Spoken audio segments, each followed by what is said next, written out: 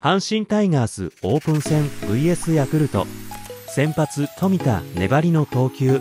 先発登板した富田は4回4安打2三振3四球2失点で粘りの投球。決め球にかけているので得意のナックルカーブを磨くか速い球速の落ちるボールを習得すると完璧。今年の守護神はゲラで良い。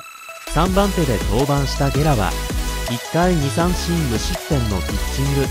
ここまで無失点ピッチングを続けており今年の守護神任命に向け着々と前進している。勝てる希望はあった。昨日エラー氏が小畑前川がそれぞれ1打点。4番大山がマルチ安打だった。しかし7回に登板した岩貞がエラーから勝ち越しを許してしまった。まとめ。